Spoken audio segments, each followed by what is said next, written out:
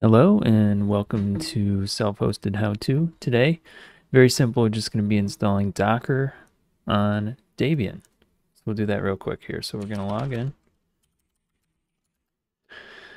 All right, so from here, uh, it's just one command actually. Um, so it's got wget dash q. The q stands for quiet mode. That means we're not gonna, there's not gonna be any extra output. Uppercase O with a dash at the end essentially means we're going to write the output to standard out instead of saving it to a file. Right? So basically this fetches the install script from Docker. It's going to, I'll show you that in a second here.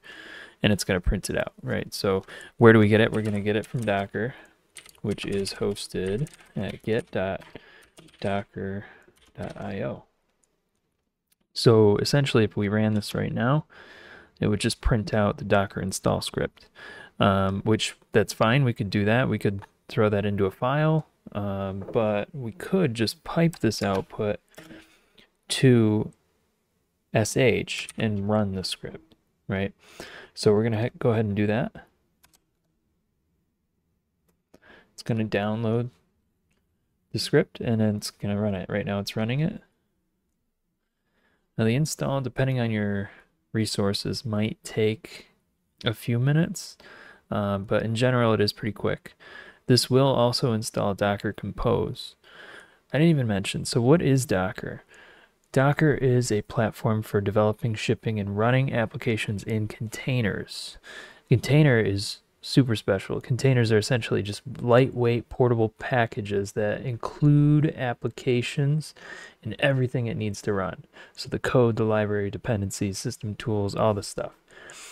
Unlike virtual machines, though, containers share the host system's kernel, uh, so it makes them much more faster and efficient. Basically, Docker makes it easy to build an app once and run it anywhere pretty reliably. And that's it. We have installed Docker here. So we can run a hello world test just to make sure that everything installed properly and Docker is working. We'll do that by just typing docker run hello world. And this will query the Docker registry for the hello world package or container, and it will download it and run it. And there we go. You can see hello from Docker. That means our test is complete. We have Docker installed and we're ready to start using it.